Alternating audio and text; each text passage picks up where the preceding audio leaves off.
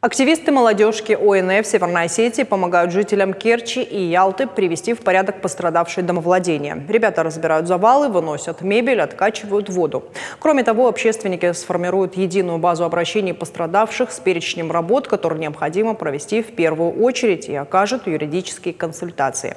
Напомним, мощный циклон, обрушившийся на Крым, привел к затоплению части городов. Сначала затопило Керчь, потом ливни добрались до Ялты.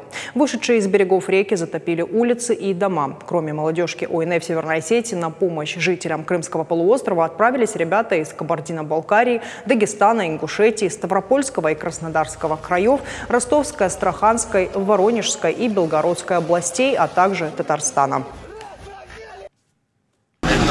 И завалы, это и деревья, которые принесло течение, которые мы распиливаем, расчищаем грязь, убираем все это лопатами, вывозим э, в сторону, где уже экскаваторами все это забирается и вывозится. Ребята опытные, многие из них уже были в зонах чрезвычайных ситуаций, а те, кто еще не были, они с удовольствием делятся полученным опытом и работаем слаженно и оперативно. Мы там, где нужна помощь.